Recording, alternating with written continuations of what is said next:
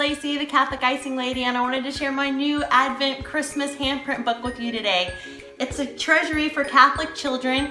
It's downloadable, you print it, and then you illustrate it yourselves with your children's handprints. It starts at Thanksgiving and it goes all the way through Candlemas, so it's for the whole season.